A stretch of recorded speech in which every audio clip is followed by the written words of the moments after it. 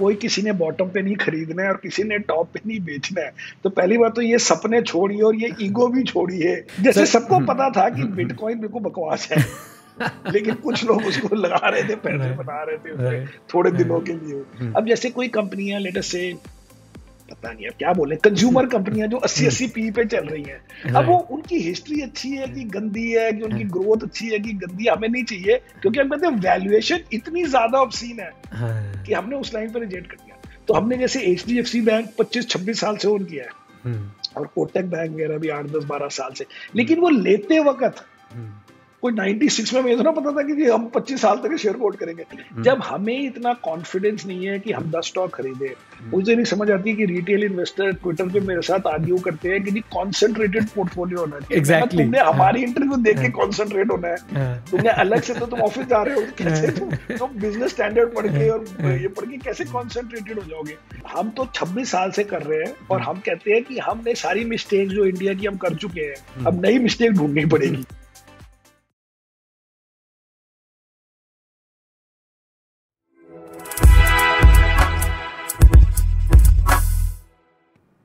जय हिंद दोस्तों, मेरा नाम है नीरज और आप देख रहे हैं मार्केट की बात ग्रो के साथ। हम आ गए वापस अपने एक और ज़बरदस्त, दिलचस्प एपिसोड के साथ, जिसमें हम आपको मिलाएँगे आज के खास मेहमान से। और आज के खास मेहमान है अरोड़ा जी। सर, आप भी तो अरोड़ा हो। अरे भाई साहब, हमारे पास एक और अरोड़ा जी हैं जो आपको बहुत सारी बातें बताने वाले हैं। मैंने इन दिनों में और बहुत सारे इंटरव्यूज़ किए हैं और बहुत कुछ सीखा है, बहुत कुछ सीखा है। और मैं चाहता हूँ कि आप भी बहुत कुछ सीखें। तो तैयार हो जाइए पेन कॉपी निकाल लीजिए मोबाइल का नोट्स वाली ऐप निकाल लीजिए। पूरी वीडियो को एंड तक देखिएगा नोट्स बनाइएगा और साथ साथ में कॉमेंट बॉक्स में जो भी हाईलाइट्स हों, वो आप भी शेयर कीजिएगा। देखिए, मैं तो आप लोगों के लिए काम करता ही हूँ। आप लोगों के लिए लास्ट में बिल्कुल अच्छे से समराइज करता हूँ सारी चीज़ों को। लेकिन अगर आप भी नोट बनाएँगे तो मुझे बहुत खुशी मिलेगी और आप लोगों की लर्निंग होगी बहुत ज़बरदस्त। आज के हमारे गेस्ट ने दुनिया के बहुत ही रेप्यूटेड कॉलेज से अपनी एजुकेशन की है।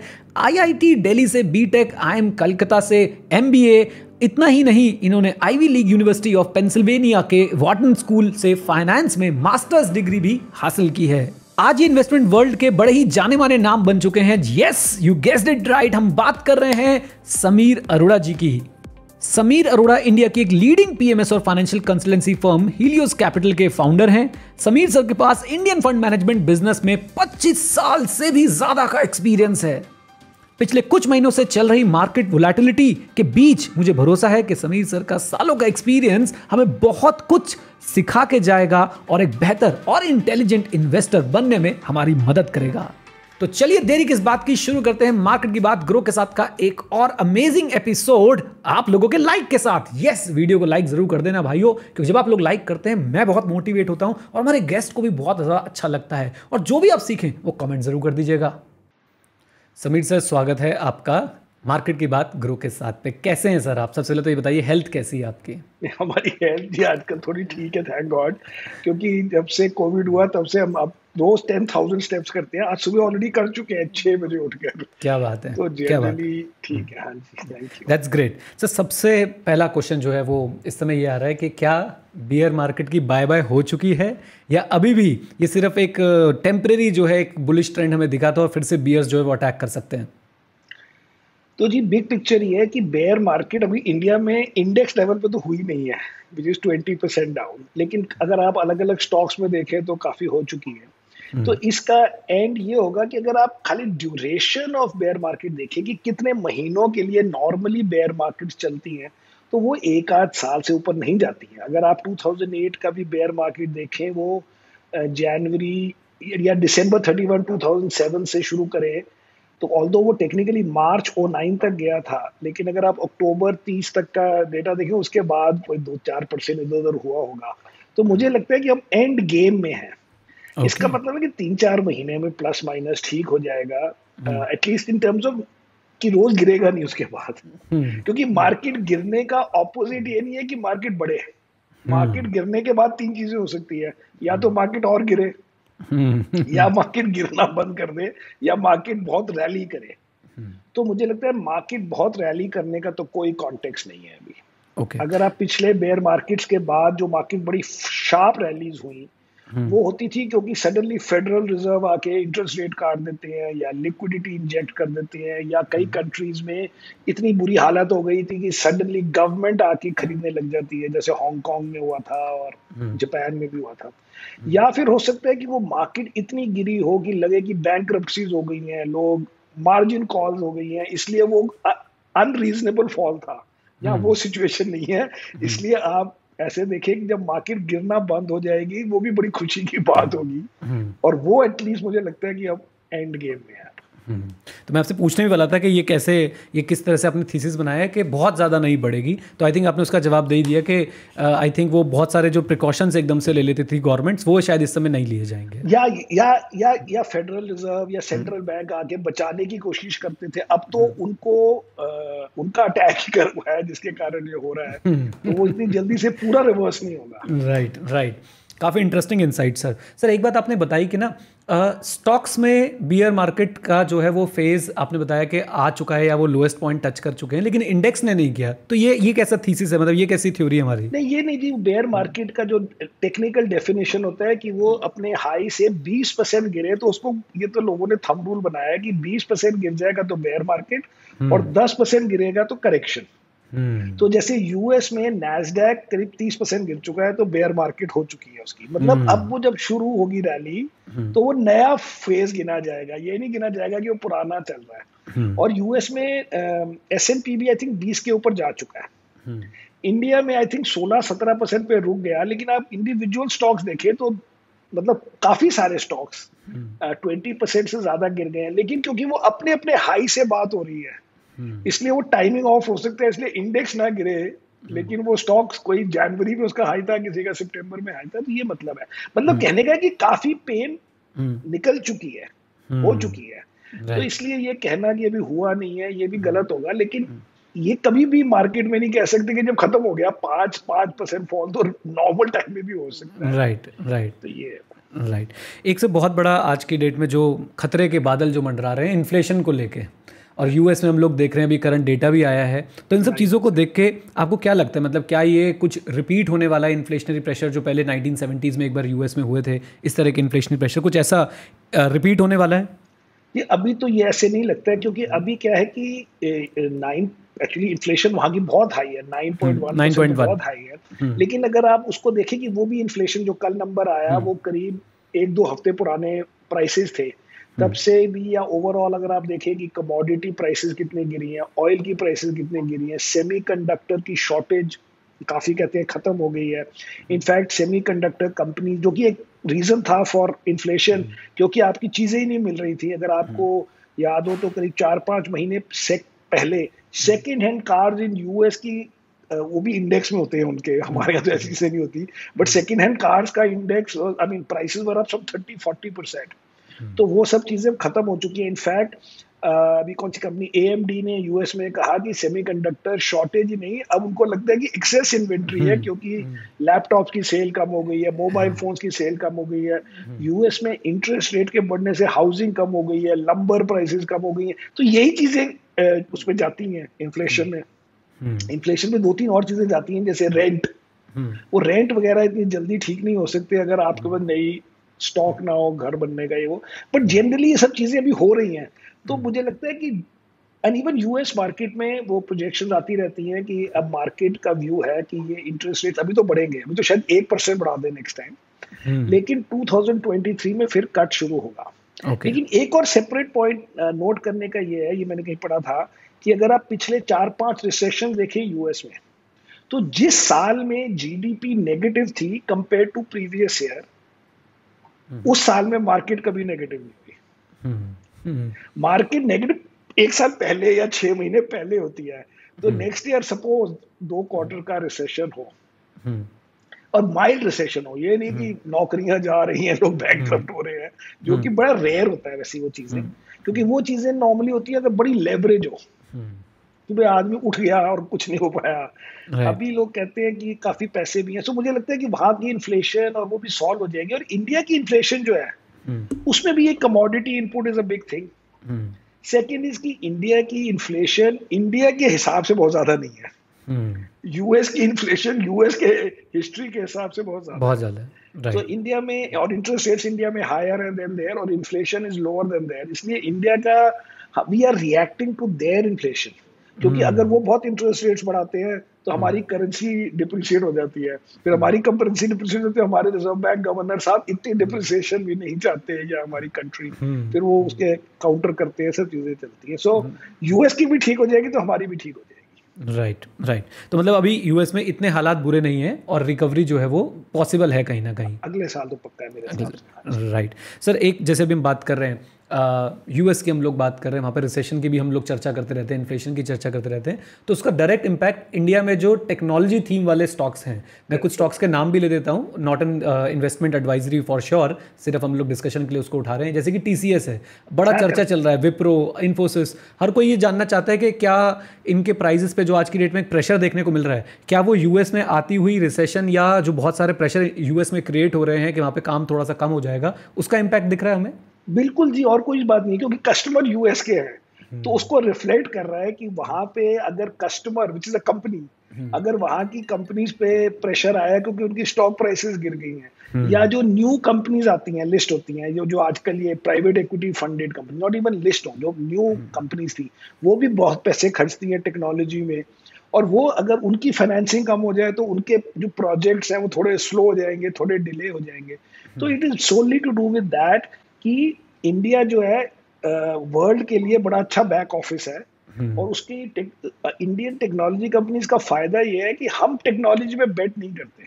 हम्म। अगर आपको साइबर सिक्योरिटी चाहिए तो तीन महीने में हमारे बंदे साइबर सिक्योरिटी सीख के आपकी हेल्प करने लग जाते हैं। अगर आपको क्लाउड हम्म। चाहिए तो हम क्लाउड करते हैं। हम अपनी तरफ़ से ये नहीं पहले सोचते कि हम पैसे लगाएँ और कोई नई टेक्नोलॉजी बनाएँ और वो सब। तो उसका फ़ायदा ये है कि तीन महीने बाद हम अडेप्ट कर सकते हैं टू एनीथिंग right, लेकिन right. जब वहाँ के बिज़नेस में इफ़ेक्ट होगा तो hmm. उनकी स्पेंडिंग पे भी थोड़ा इफ़ेक्ट तो होगा ही तो hmm. इसलिए वो रिफ्लेक्ट कर रहा है और हमारे पास कुछ हमारे पास भी काफ़ी सारे स्टॉक्स हैं इनमें से बट hmm. क्योंकि वो लॉन्गर टर्म अच्छा किया है और वो कॉन्सेप्ट खत्म नहीं होगा कि. इंडिया की इंजीनियर्स बेटर है चीपर है एंड वर्ल्ड को ये सब चीज़ें चाहिए. लेकिन बीच बीच में सारे हमारे सेक्टर्स में सबसे ज़्यादा यूएस की प्रॉब्लम से जो कनेक्टेड सेक्टर है वो यही है टेक्नोलॉजी तो आप इसको ऐसे भी देखते हैं क्या मतलब हमें इन्वेस्टर्स को ऐसे भी देखना चाहिए कि okay this is an opportunity also कि वहाँ की प्रॉब्लम से यहाँ पे इम्पैक्ट आता है तो, तो कहीं ना कहीं हम्म। तो इसके लिए मेरे पता आज लेने की ज़रूरत नहीं है बट नेक्स्ट हम्म। दो तीन महीने में तो शायद हम भी वापस लेंगे क्योंकि अब उनकी वैल्यूएशन भी काफ़ी गिर गई है हम्म। और अर्निंग्स गिरी हैं लेकिन अर्निंग्स आप सोचो कि अगर कोई स्टॉक तीस परसेंट गिरता है हम्म। आप एक साल की अर्निंग के लिए तो स्टॉक नहीं खरीद रहे आप तो बेसिकली इन थियरी आपके लिए वो लाइफ टाइम उसकी one fourth one third valuation कम हो गई है कंपनी की। ऑल हम्म। वो एक या डेढ़ साल के लिए या दो साल के लिए पंद्रह परसेंट ग्रो करना था उसके बदले सपोज़ दस परसेंट ग्रो कर रहा है रुपीज़ में। हम्म। तो उसमें उसके लिए आपने पूरी कंपनी के पच्चीस परसेंट उड़ा दिए क्योंकि स्टॉक प्राइस तो पच्चीस तीस चालीस परसेंट डाउन है। सेकेंड थिंग इज़ एक तरीके से थोड़ा सा फ़ायदा है क्योंकि मोस्टली ये डॉलर अर्नर है। और अब हमारे को छह साढ़े छह परसेंट तो करेंसी का हमें मीन इनको right, right, इनको छह परसेंट का करेंसी. का फ़ायदा हो गया और वो भी टॉप लाइन पे हो गया। hmm. सीधा रेवेन्यू छह परसेंट ज़्यादा जब आपने. उसको इंडियन रुपीज़ में कन्वर्ट किया। सो इंडियन इन्वेस्टर के लिए उसका टॉप लाइन पाँच छह परसेंट तो इसी चीज़ से बढ़ गया। उसकी थोड़ी कॉस्ट भी बढ़ जाएगी। ट्रैवल कॉस्ट यूएस में जो एम्प्लॉयज़ हैं उनकी कॉस्ट जब रुपीज़ में कन्वर्ट होगी। बट फिर भी आपको तीन एक परसेंट का और तीन परसेंट हम्म। हमारे बिज़नेस में बहुत बड़ी चीज़ होती है। राइट क्योंकि जब सौ मैं समझाऊं जब सौ रुपए का रेवेन्यू होता है उसमें तीन रुपए बढ़ने से लोग कहेंगे क्या फ़र्क पड़ा? लेकिन। फ़र्क ये होता है कि सौ रुपए के जब नीचे प्रॉफिट तक आता है वो पंद्रह रुपए रह जाता है या पच्चीस रुपए रह जाता है। तो। पच्चीस में तीन रुपए आपको स्ट्रेट एक्स्ट्रा मिल गए जिसकी कोई कॉस्ट तो आपके दस बारह परसेंट इसी बात से बन गए। राइट राइट तो इसलिए या टेक्नोलॉजी गुड जनरली आपने सर दो महीने पहले if I am not wrong आपने तीन सेक्टर्स जो हैं तीन थीम्स जो है बताई थी फाइनेंशियल कंज्यूमर एंड टेक्नोलॉजी तो आज भी वही थीम्स पे है बिल्कुल एकदम टिके हुए। ये थीम्स मैंने दो महीने पहले तो बताई थी लेकिन मैंने 25 साल पहले से मैं यही तीन थीम में चल रहा हूँ। मैं चौथी थीम ही नहीं करी कभी। Right, तो एक्चुअली right. अगर आप इंडिया hmm. को भी देखें या वर्ल्ड को भी देखें कि. कौन सी थीम्स होती हैं जो लॉन्गर टर्म थीम्स होती हैं? hmm. और यही तीन थीम्स होती हैं। या तो फाइनेंशियल सेक्टर इसमें बहुत सारी चीज़ें आती हैं। Banks NBFC broker asset management lending gold finance consumer काफ़ी लंबी स्टोरी राइट राइट राइट दूसरी थीम है कंज्यूमर हम्म। उसमें वर्ल्ड वाइड कंज्यूमर की स्टोरी है लेकिन हमने हम्म। उसको खाली थोड़ा कन्वर्ट करके कर दिया कि हमें मिडिल क्लास कंज्यूमर चाहिए। हमें बिलियन हम्म। कंज्यूमर वाली स्टोरी नहीं चाहिए। वो खाली फॉरनर हम्म। को सुनाने के लिए होती है यदि 1.4 बिलियन लोगों में देखो अभी तो होम डिलीवरी भी नहीं हुई अभी तो उन्होंने जोमेटो भी नहीं ट्राई किया अभी तो उन्होंने ना खाली 300 मिलियन 250 मिलियन से डिवाइड करके अगर वो लगता है कि अभी बड़ी दूर है मतलब ग्रोथ काफ़ी है। और थर्ड है क्योंकि हमें आईटी ऑफ़ कोर्स इंडिया का एक बड़ा सेक्टर है लेकिन ऑल्सो एक्सपोर्टर होने से हमें थोड़ा सा रुपी जो हर वक्त डिप्रिसिएट होता है तीन चार साल तीन चार परसेंट हम्म। एक साल में हम्म। या चार परसेंट हम्म। उसका थोड़ा वो मिल जाता है प्रोटेक्शन राइट. अब से थोड़ा कंट्रोवर्शियल क्वेश्चन कि अब इन सेक्टर्स के टॉप स्टॉक्स आपके हिसाब से कौन से हैं? आपके टॉप बेट्स क्या हैं इन तीनों सेक्टर्स में आज के रेट ये जी हमें ज़्यादा नहीं बतानी है बट हम एक एक दो दो बता सकते हैं आपको। हुँ, हुँ. तो पहले आ गया प्राइवेट सेक्टर फाइनेंशियल उसमें एक्चुअली हमारे पूरे फंड की जो टॉप थ्री होल्डिंग है सबको पता है वो तीनों फाइनेंशियल ही हैं। H D F C bank state bank ICICI bank ये हमारी चले जा रही है। H D F C bank तो हमने खाली 25 साल से होल्ड किया हुआ है। बस सिर्फ़ खा, खाली 25 साल से। छब्बीस सत्ताईस जो भी आईपीओ में और स्टेट बैंक 2020 से हम्म। और इस राउंड में क्योंकि पहले भी कभी हुआ होगा और आईसीआईसीआई बैंक 2018 से। Okay. तो इनमें क्या है? फ़ायदा है कि तीनों ऑब्वियसली वेल रन कंपनीज़ हैं और फाइनेंशियल की जब भी बात चलती है तो उसमें होता है कि इंडिया में जो भी चीज़ें चल रही है कभी आप बोले जी कंज्यूमर स्ट्रांग हो गया अब आप बोलोगे कॉर्पोरेट ग्रोथ हो रही है कभी आप बोलेंगे एनपीए इंप्रूव हो गए वो सब चीज़ें हमारे तीन स्टॉक कर देते हैं कभी हम्म। फिर इनकी सब्सिडरी दो उसकी अच्छी है स्टेट बैंक की हम्म। और इस बारी क्या हुआ है कि इसमें फॉरेन सेलिंग काफ़ी हुई है अभी क्योंकि तो इस हम्म। समय जो फॉरेन सेलिंग हो रही है वो फॉरनर्स के बाद भी काफ़ी H D F C bank तो सबके पास है। स्टेट हम्म। बैंक वगैरह कम लोगों के पास है। बट हम्म। उनकी सेलिंग को भी हैंडल कर लिया है मतलब इन द सेंस की पाँच सात परसेंट आठ परसेंट डाउन है H D F C bank और एक्चुअली बाकी दोनों स्टॉक दो दो तीन तीन परसेंट अप है। आजकल हम्म। हम तीन परसेंट अप को भी सेलिब्रेट करते हैं मार्केट को देख कर तो ठीक है। अच्छा सेकेंड सेक्टर है जी कंज्यूमर हाँ जी। उसमें हमारी थियरी ये है कि हमें मिडिल क्लास कंज्यूमर चाहिए वो as a said billion consumer वाला नहीं हम्म। चाहिए हम्म। तो उसमें हमने चार पाँच स्टॉक्स लिए मतलब छह सात स्टॉक्स होंगे लेकिन जो इंटरेस्टिंग जो सिमिलर टाइप की थीम बनाते हैं कि जो लेटर से एक करोड़ से तीस करोड़ लोगों के लिए है पहला एक करोड़ बंदे तो अब्रॉड हम्म। ट्रैवल करते हैं वो तो चीज़ें भी महँगी खरीदते हैं उनका सब कुछ अब्रॉड में होता है लेकिन जो बाकी में हम हैं तो हमारे पास hotel stocks which is Lemon Tree and Indian hotel फिर हमने क्योंकि रिवाइवल है कोविड का रिवाइवल है प्लस डोमेस्टिक टूरिज़्म बड़ी स्ट्रांग हो गई है वगैरह वगैरह। सेकंड हमने अभी जो नया स्टॉक लिया वो है कैंपस शूज़ क्योंकि वो सस्ते शूज़ हैं आठ सौ हज़ार रुपए के वो नाइकी वाई की तीन हज़ार से दस दस हज़ार के होते हैं उनकी मार्केट बड़ी जल्दी वो हो जाती है। प्लेटो हो जाती है। यहाँ में लगता है कि चलती रहेगी कहानी। और एक और जो हमने स्टॉक वो भी इसी साल नया लिया है वो है वेदांत फ़ैशन जो कि okay. मान्यवर कि जिस हम्म। इस समय ज़्यादा शादियाँ होंगी हम्म। जो पिछले दो साल नहीं हुई और उनके भी सस्ते कपड़े होते हैं पंद्रह हज़ार दस हज़ार में आप शादी के कपड़े ले सकते हैं और अगर आप गेस्ट हैं तो चार हज़ार में भी ले सकते बिल्कुल ले सकते हैं सर तो ये बात। और टेक में तो वही है जी टीसीएस इन्फोसिस वगैरह वो तो हमारे वो भी बड़े पुराने। मतलब नाइन्टी से है लेकिन वो कॉन्टिन्यूसली नहीं होल्ड किया। मे बी पाँच पाँच साल से तो होंगे ये सब। राइट सर मेरी तो ये ऑब्जर्वेशन है कि जब हम बच्चे होते थे तो कैंपस के शूज़ ना हमारे लिए ऐसे होते कि कैंपस के जूते पहनने हैं यार किसी भी तरीके अच्छा, से अच्छा, ना good, तो अच्छा। बड़ी आपने जब बताया तो मुझे बड़ी वो यादें आ रही हैं कि वो स्पेशल शूज़ होते थे हमारे लिए क्योंकि वही आपने जो बोला ना कि मिडिल क्लास फैमिली वाले जो है हमें वो चाहिए। आई थिंक हर व्यक्ति इंडिया में जो इस फ़ेज़ से निकलेगा मिडिल क्लास वाले फ़ेज़ से वो कहीं ना कहीं कैंपस के शूज़ ज़रूर पहनेगा। राइट ग्रेट सर अब ये देखिए कि हम यहाँ पे पूछना चाहते हैं आपसे कि अभी बहुत सारे आपने खुद ही बताया कि बहुत सारे स्टॉक्स जो है वो करेक्ट हुए हैं कोई थर्टी परसेंट भी हुआ है कोई फोर्टी परसेंट भी हुआ है। तो ऐसे में कौन से टॉप स्टॉक्स हैं जो आपके इस समय रडार पे हैं जिनके लिए आप वेट कर रहे हैं थोड़ा सा और गिरें या जिनका आपको लगता है कि सही वैल्यूएशन आ गई है?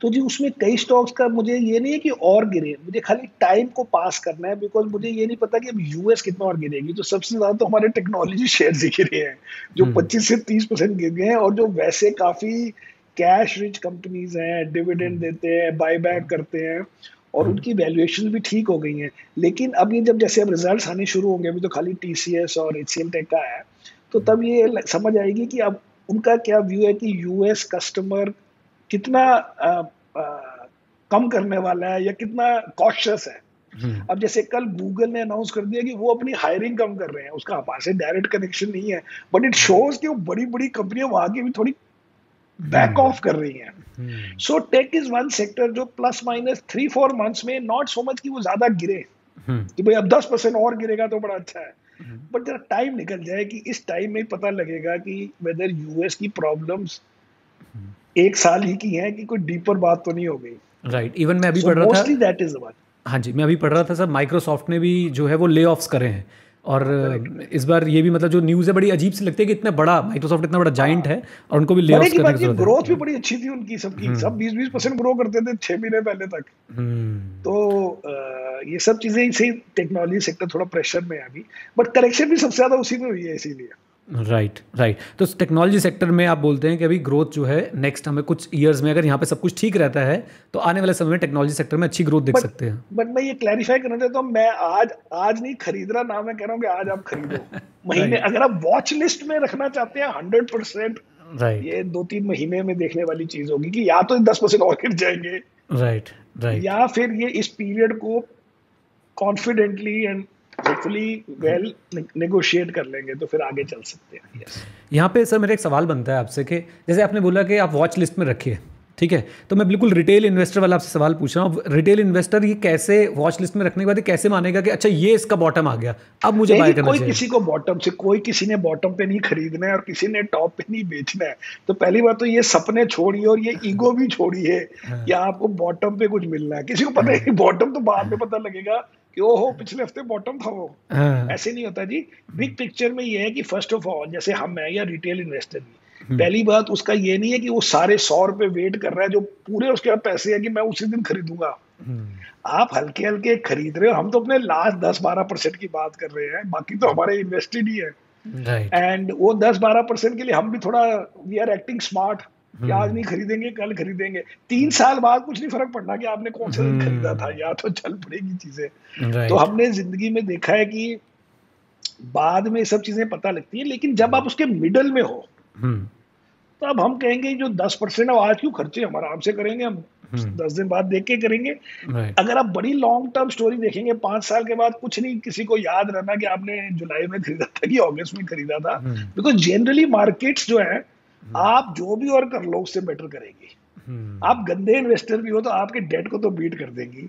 और आपके गोल्ड को बीट कर देंगी और आपकी प्रॉपर्टी को बीट कर देंगी इसलिए इक्विटी का ओवरऑल फेथ लॉन्ग टर्म में तो बहुत हाई है सबका। लेकिन शॉर्ट टर्म में जो थोड़ा बहुत कैश पड़ा है उसको तो आदमी कहते हैं चलो आराम से करते हैं एकदम क्यों करें? फिर ये ऐसी चलती है लाइफ राइट सर इसी में मेरा एक और क्वेश्चन है मतलब मैं और डिटेल में जाना चाहता हूँ इसमें। जैसे आपने भी बताया कि अगेन मैं रिटेल इन्वेस्टर्स के पॉइंट ऑफ़ व्यू से आपसे पूछ रहा हूँ कि आपने भी बताया कि अभी आपके पास थोड़ा बहुत कैश पड़ा तो वेट कर लो। मैं कहता हूँ मैं कहता हूँ कि आने वाले दस दिन तक कोई वेट करता है और प्राइस बढ़ जाता है। देन बढ़ गया हो गया। ये रिस्क भी है ना। इसमें दो तीन चीज़ें हैं। हम ये नहीं कह रहे किसी को या अपने आप की hundred percent of your money को आपने कैश में रखा है और अब आप वेट कर रहे हो। हम्म। क्योंकि वो कैच नहीं होगा। हम हम्म। बात कर रहे हैं कि डे टू डे आप एनालिसिस कर रहे हो दस दिन में अगर बढ़ भी जाएगा जो कि मेरा सेपरेट बिलीफ है हम्म। कि बहुत ज़्यादा नहीं बढ़ सकती। बहुत ज़्यादा बढ़ने का सिंपल बात यह है कि अभी कल तो एफ़ आई ने अठाई करोड़ बेची है तो आज कहा से बढ़ जाएगी? और अगर वो दो हज़ार करोड़ बेचता है आप जो मर्ज़ी कर लो आप बढ़ नहीं सकते हो आप घटो ना। ये हो सकता है डोमेस्टिक आ गए। तो इसलिए कोई इतना खास नहीं है। आपने इन्वेस्ट करा तो आप इन्वेस्ट भी कर लो। अगर आप सीधे पाँच साल का व्यू लोगे एज ए सेट कोई फ़र्क नहीं लगेगा। हम्म। लेकिन क्योंकि हम फंड मैनेजर हैं और हमें आ, हम कहते हैं कि ये लास्ट बिट को हम आज करेंगे कल कोई नया अपॉर्चुनिटी ना आ जाए तो पाँच दस परसेंट कैश होना चाहिए। जो पर्सनली तो लोगों का वैसे होता है। हम्म। क्योंकि आपके पास सैलरी नहीं आ गई कुछ आ गया लेकिन हमारा इन अ सेंस है कि हमारा पैसा in one sense is defined नया इन्वेस्टर आएगा तो उसकी अलग स्टोरी है बट करंट इन्वेस्टर के लिए हम्म। आप पाँच दस परसेंट रखते हो कि कहीं कुछ क्रैश हो जाए कुछ हमारा स्टॉक हो या हमारा जो पसंदीदा स्टॉक है ज़्यादा गिर जाए तो उसके लिए थोड़े से आप रखते हो in this bad time which is मतलब उसे ना इधर की बननी है ना लाइफ चेंज होनी है लेकिन हमें भी तो रोज एक uh, अपनी तरफ़ से मैक्सिमाइज करने की कोशिश करनी है। राइट राइट अब सर आपकी वेबसाइट पे मैं गया हीलियोस कैपिटल की वेबसाइट पे वहाँ पे मैंने आपकी इन्वेस्टिंग फिलॉसफी पढ़ी और मैंने वहाँ से कुछ स्क्रीनशॉट्स निकाले हैं। तो उसमें कुछ अच्छा। बड़े इंटरेस्टिंग स्क्रीनशॉट्स निकले। मैं पहला क्वेश्चन आपसे पूछता हूँ। एक कोट वहाँ पे लिखा है आपकी वेबसाइट पे मैं रीड करता हूँ।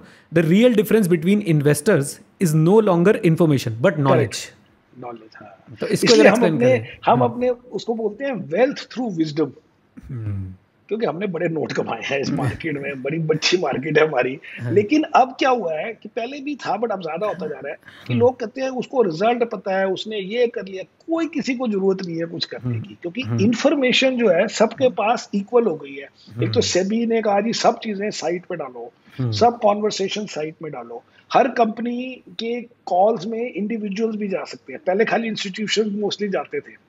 उसके बाद ब्लॉग्स फिर आपके जैसे इंटरव्यूअर्स फिर। बिज़नेस चैनल्स अब जैसे यूएस में आई थिंक दो बिज़नेस चैनल है। सीएनबीसी और फॉक्स हमारे कम से कम छह सात होंगे। फिर उनके हिंदी वर्जन है इंग्लिश। वर्जन है। तो अब सबके पास प्लस माइनस वही इंफॉर्मेशन है। राइट अब खाली कहानी है हाँ। इसको आप इंटरप्रेट कैसे करोगे?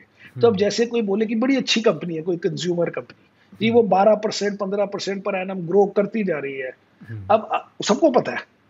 लेकिन उसकी वैल्यूएशन क्या होना चाहिए? उसका पी पच्चीस होना चाहिए कि नब्बे होना चाहिए? ये इस बात से पैसे बनेंगे।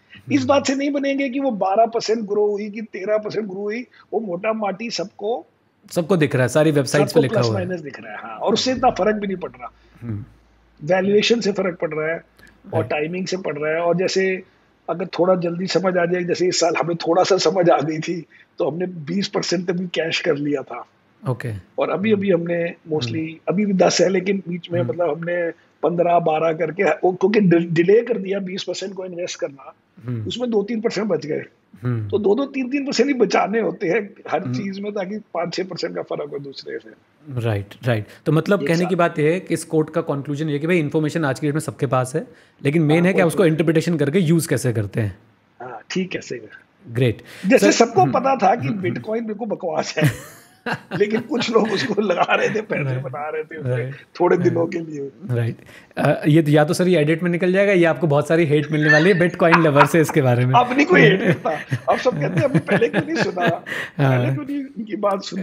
राइट राइट एक क्वेश्चन से मेरे पास बड़ा इंटरेस्टिंग क्वेश्चन है कि as a retail investor as a layman हम लोग ढूंढते हैं कि यार, उस वाले फंड मैनेजर ने कौन से स्टॉक्स में इन्वेस्ट कर रखा है? इस वाले फंड मैनेजर ने कौन से स्टॉक पे इन्वेस्ट कर रखा है? एंड बहुत सारे फंड्स हैं जो अपनी होल्डिंग्स को पब्लिकली डिस्क्लोज भी करते हैं। राइट लेकिन मैंने ऐसा देखा है कि आप बहुत ज़्यादा आपने अभी एक दो स्टॉक्स से शायद दो मेजर स्टॉक्स उनके नाम बता दिए। लेकिन जनरली आप वो स्टॉक्स डिस्क्लोज घूम करते हुए नहीं घूमते कि ये भी है जी ये भी है जी। तो ऐसा क्यों है सर? क्या क्या थॉट था इसके पीछे? सो सो दो, दो तीन रीजन है इसके। हम्म। इसका पहला रीजन है कि अगर फ़र्स्ट ऑफ़ ऑल आजकल हम इंडिया में जो हमारे इंडिया हम्म। टीम है वो कर रही है पी पीएमएस एआईएफ हम्म, तो पहले तो म्यूचुअल फंड पे आ जाए। तो म्यूचुअल फंड मैनेजर का तो फुल पोर्टफोलियो डिस्क्लोजर हर महीने हो जाता है। राइट हर महीने आपको वैसे ही पूरा पोर्टफोलियो पता है। हम्म, हमारे पीएमएस में तो वो ट्रेड करने के साथ ही उसको एसएमएस मिल जाता है कस्टमर को हम्म। कि भाई तेरा ये ट्रेड हो गया है। लाइव बताना होता है सेबी रूल के हिसाब से। हम्म। तो फ़र्स्ट ऑफ़ ऑल जो जो आपको पैसे दे रहा है कस्टमर हम्म। उसका तो काम हो गया। जो म्यूचुअल फंड में इन्वेस्टर है म्यूचुअल फंड मैनेजर है उसको उसने पैसे उसको दिए हुए हैं और उसको फ़ी दे रहा है। तो वो उसको स्टॉक बताए या ना बताए उस कस्टमर को कोई फ़र्क नहीं पड़ रहा तो ये जो मार्केटिंग हो रही है कि हम स्टॉक बताएँगे वो रही है कि पब्लिक को कि आप भी ये शेयर खरीद लो। हम्म, तो पब्लिक जो कुछ आपके कस्टमर नहीं है। हम्म, अब अगर पब्लिक आई आपने शेयर बताया और वो स्टॉक ऑब्वियसली आपकी एक्सपेक्टेशन है कि जब मैं पब्लिक को बताऊँगा तो वो दो परसेंट शेयर बढ़ जाएगा। हम्म, तो जब वो दो परसेंट बढ़ जाएगा और अगले दिन आपके म्यूचुअल फंड में कोई बेचारा फ़ी दे के आएगा हम्म। या हमारे पीएमएस में कोई फ़ी दे के आएगा उसको आप नया शेयर तो लेके दोगे नहीं वही शेयर तो लेना है क्योंकि आपने कल तो पब्लिक को बोल रहे हो लेने को। तो जब कोई आपको पैसे देगा हम्म, तो तभी भी तो वही शेयर लोगे ना आप। ये तो ना कि नहीं मैं हम नहीं लेंगे दूसरों के लिए हम्म, तो अपने ही कस्टमर को हम्म, हायर फ़ी में वो हायर प्राइस में वो स्टॉक आप दिलाएँगे नंबर वन सेकंड जो मेरी एक्चुअल वो है कि अगर आप बहुत किसी स्टॉक को प्रमोट करते हैं हम्म, तो आपको वो डिफेंड करना पड़ता है अगर वो स्टॉक प्रॉब्लम में आ जाए।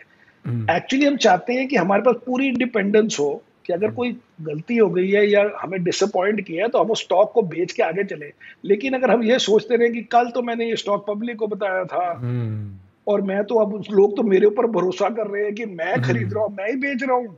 हम्म, तो मैं ही स्लो हो जाऊँगा। So the whole thing gets totally this thing कि आप आप रिस्पॉन्सिबल हो जाते हो टू दी पब्लिक एंड इसलिए आप अपने फंड के कस्टमर्स और इवन अदरवाइज़ जो जॉब है असली वो आप बिल्कुल कंफ्यूज हो जाते हो कि आपको कितने दिन तक आप इसको आप ऐसे करें। Plus you are not to defend if it does badly in fact आप बेच के आगे चलो लाइफ में कुछ और करो बट क्योंकि आपने पब्लिक को बोल दिया इट बिकम्स योर रिस्पॉन्सिबिलिटी आप आप आपके नाम से कनेक्ट हो गया वो स्टॉक अब। और तीसरी बात यह जो कि मैं आजकल देख रहा हूँ हम्म। अगर आप पाँच रीजन दो पब्लिक को हम्म। कि जी मैंने ये स्टॉक क्योंकि आप ये तो कह नहीं सकते मैंने स्टॉक खरीद लिया जाओ। हम्म। आप कुछ कहानी सुनाओगे मैंने इसलिए खरीदा इसलिए खरीदा। अब आपने जब छह महीने बाद वो स्टॉक बेचा आप ये नहीं कह सकते मेरा मूड खराब हो गया मैंने बेच दिया। अब आपको दस रीजन देने पड़ेंगे कि मैंने उस बेचारी कंपनी को और गालियाँ दोगे।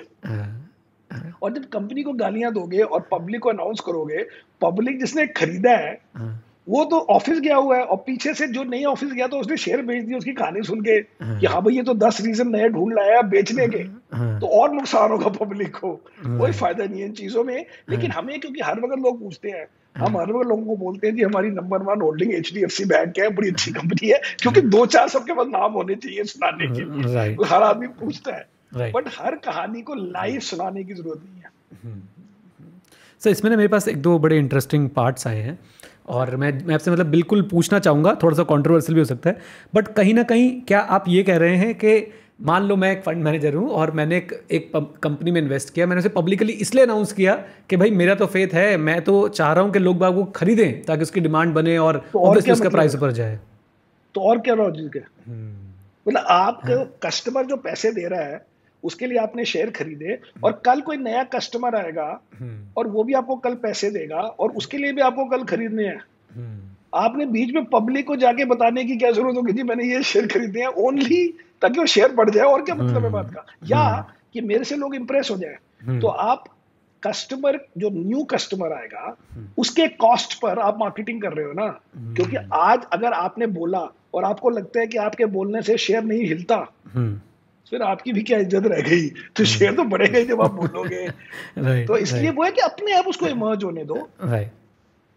मतलब अच्छा रिसर्च है तो डेफिनेटली कंपनी अगर अच्छा करेगी अगर तो, नहीं करेगी वो आपके बोलने से नहीं होना। वो बोलने से उसी दिन की कहानी है but why to hurt your own prospective investor right and secondly ये बात नहीं है। जब आप बेचोगे कई लोग तो बेचने का बताते ही नहीं है hmm. खरीदने का बताते हैं। hmm. या पूछोगे तो कहते हाँ तो मैंने तीन महीने पहले बेच दिया था। hmm. फिर आप क्या करोगे?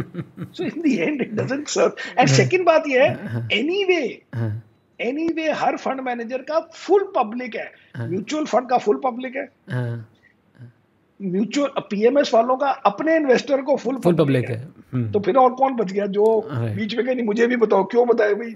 राइट राइट और सेकंड बात भी मुझे अभी बहुत सही लगी कि एक बार जब आप एक स्टॉक का नाम पब्लिकली प्लेटफॉर्म पे जाके किसी प्लेटफॉर्म पे जाके ले देते हैं तो आप उसको कनेक्ट कर जाते हो कि अब हर कोई ना उस स्टॉक के बारे में सोचता फिर आपके बारे में सोचता। करेक्ट हाँ, बेचते वक्त आप कंफ्यूज हो जाओगे क्योंकि हाँ। आपकी मॉरल रिस्पॉन्सिबिलिटी हो जाती है. फॉरगेट अबाउट लीगल रिस्पॉन्सिबिलिटी क्योंकि दो महीने बाद आप बेचोगे तो कोई लीगल इशू नहीं है. हम्म। लेकिन अगले दिन बेचोगे तो लीगल भी हो सकता है. लेकिन मॉरल रिस्पॉन्सिबिलिटी आपने लोगों का बहुत बढ़िया बहुत बढ़िया। और आप सडनली बेच के को हाँ जी वो तो मैंने एक महीना पहले बेच दिया था जब ये हुआ था वो तो आपको बताया नहीं मैंने। हम्म। बिल्कुल गलत। Right right. एक बड़ा इंटरेस्टिंग कोड सा मैंने और पढ़ा आपकी वेबसाइट पे।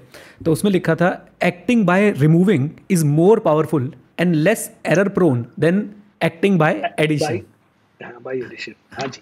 तो इसका मतलब ये है कि हमारे हिसाब से सपोज़ सौ कंपनियाँ हैं मार्केट में हम्म। जो हमारा यूनिवर्स है मार्केट हम्म। दो सौ है हमारी बड़ी वाली बट लेट्स से पब्लिक के लिए सौ बड़ी कंपनियों में से या सौ कंपनियों में से उनको चूज़ करना है हम्म। अब लोग क्या करते हैं कि वो बेस्ट कंपनी को ढूँढने लग जाते हैं कि बेस्ट कंपनी कौन सी है बेस्ट कंपनी कौन सी है जिसका किसी को एग्जैक्ट पता नहीं है क्योंकि best company mean best stock उसकी मैनेजमेंट उसकी हिस्ट्री उसकी गवर्नेंस वो कोई एंड नहीं है कि गुड क्या है लेकिन आप उसकी बैड से उस सौ को पचास चालीस तक ला सकते हैं।